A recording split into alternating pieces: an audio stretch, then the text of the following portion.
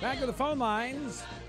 It's Chris in Seattle. Hello there, Chris. Hi, it was Ray. Good morning. How are you today? I am well. How about you? First and foremost, I'm a husband. Got to be that first. And I'm a father and I'm a grandfather. I grew up in uh, South Philadelphia, big time Catholic family. My mom and dad were very devout Christians and Catholics. And so I learned early on that you don't lie, cheat, steal, or mislead. The Brain Trust always in the house for you on the Ray Lucia Show. The Ray Lucia brand started out uh, a long time ago. It must have been the early 1990s after a fairly successful career starting with uh, the life insurance industry and then eventually getting my securities licenses and becoming a certified financial planner. Home just to keep our family, you know, You uh, what, and what, our, you, what you're going to have Well, the financial planning business is a, it's a wonderful business, and and the, the thing that I love most about it is the people. When I was doing my seminars, I mean, literally, I, I did them for 10 people, 30 people, 300 people, 1,500 people. Of course, we felt like we were making a difference. Boy, the last couple of years have been absolutely devastating and brutal as it relates to the stock market. At the peak of my career, it was lights out. I mean, it was really, really fun. The weekend before the SEC uh, press release hit, I'm out in my swimming pool with my grandkids. I'm flipping them up and down. Life is good. 48 hours later, the SEC press release hits. Ray Lucia has been a local fixture on radio and in his investment seminars. For now, it appears he will remain on the radio. And literally within 15, 20 minutes, Channel 8's in the front lobby, Channel 10's in the front lobby. The phones are ringing off the hook. And uh, that was the day my life changed. You've been contacted by other people. I've read some of our briefs.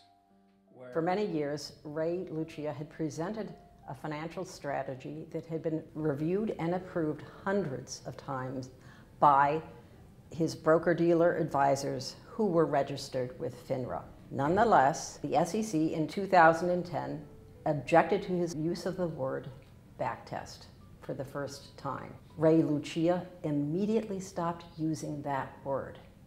In a rational world, that would have been the end of story. Instead, two years later, the SEC charges him with fraud. That is wrong. We're just Rocky and Jeannie from Poway. We're really just, it's, it's really hard to, um, to put that realization um, in perspective. It, it just doesn't seem that that's really, really us. It was a shock for someone to be questioning his integrity. For those allegations to come forward against him and then ultimately, you know, flowing over onto our family, that's been very, very devastating. I told Jeannie, I said, you know, if, if we stand up to the government, we will more than likely lose everything.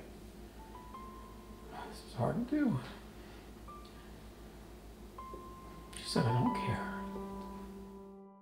There is a subterranean form of prosecution known as administrative law judging. Americans today are 10 times more likely to be brought before an administrative law judge than a real judge. Those courts deny Americans their fundamental civil liberties. Ray Lucia's case is the perfect example of all that can go wrong when that happens. One talk show in America that helps you make better money moves. Sidekick. Johnny Dean. Hey, Johnny, everybody. Good to have you I on remember, board. I remember you. I got to tell you what, I'm here for the applause. I've known Ray Lucia for the better part of 28 years. Uh, Ray's always been an honest person. He's always been very open. He's taught me a lot about the business and how the ethics of the business work. And that was one of the first things I noticed about it too, was that his ethics were always unquestioned. I have never seen a case like this in my entire career.